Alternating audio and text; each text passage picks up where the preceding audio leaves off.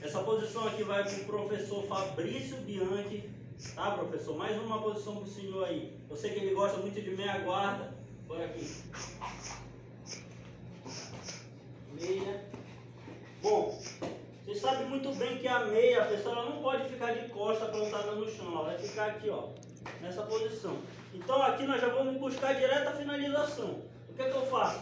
Eu vou entrar com essa mão aqui reta, bem aqui na lapela dela, direto. Agora tem um detalhe, eu não vou deixar essa minha mão mole, eu vou entrar ó, e fazer contato com ela, tá? Fiz contato com ela. Agora o que é que eu faço? Essa mão aqui, eu venho, puxo ela e vou entrar com essa bem aqui. Agora, agora eu não posso jogar aqui ó, nessa linha da boca. Eu tenho que jogar o mais possível para dentro do meu braço, tá ok? Para pegar dentro do pescoço. Agora eu vou dando uns prozinhos, bateu, tá ok? De novo, segurei, vou, tô lutando com ela, pá, pá, pá, passei as duas linhas dos braços dela e entrei.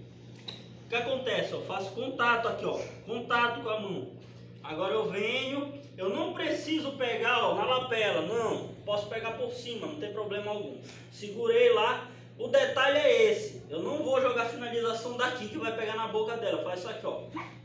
Tá? Eu trago ela pra mim. Agora eu vou dando ajuste, eu vou dando uns prozinhos. Pegou.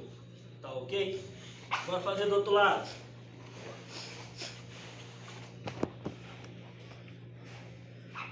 Às vezes o, o, o guardeiro tá aqui, chegou aqui, ele tá até querendo entrar uma profunda e tal. Tu pega, tu já impede ele aqui, ó.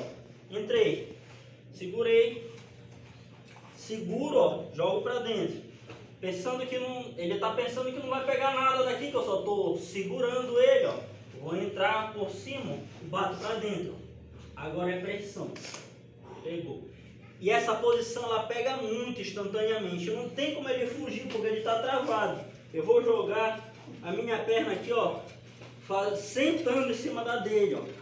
Eu sento, seguro lá, jogo e aqui que tá o detalhe, ó, para dentro, para dentro a mão. Agora eu vou dar uns prozinhos, ó. Pegou, ok? Posição muito forte aí. Tá aí, professor? Professor Fabrício Bianchi, do Fabrício Bianchi Jiu-Jitsu. Ouça.